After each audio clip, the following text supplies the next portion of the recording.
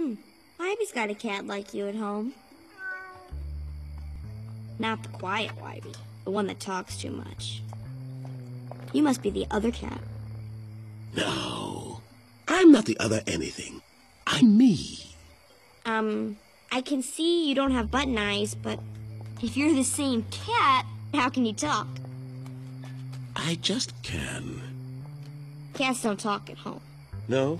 Nope. Well, you're clearly the expert on these things. After all, I'm just a big fat wuss puss. Come back, please. I'm sorry I called you that. I really am. How'd you get here? I've been coming here for a while. It's a game we play. She hates cats and tries to keep me out. But she can't, of course. I come and go as I please. Your other mother hates cats?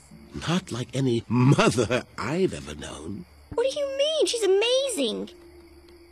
You probably think this world is a dream come true. But you're wrong. The other Wybie told me so. That's nonsense. He can't talk. Perhaps not to you. We cats, however, have far superior senses than humans and can see and smell and. Shh! I hear something.